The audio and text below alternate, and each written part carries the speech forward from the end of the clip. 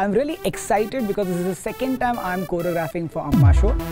We are doing five elements and the best part about the show is that all Malayalam songs only and for you guys. Okay, I'm sure you're wondering where to see these amazing performances. Yes, you guys are right. It's happening on 7th of December 2018 in Abu Dhabi. Be there to stand with us, be with us on only one show which is called Onnanu Nammal. See you all there. All the best. And the rehearsals are going on.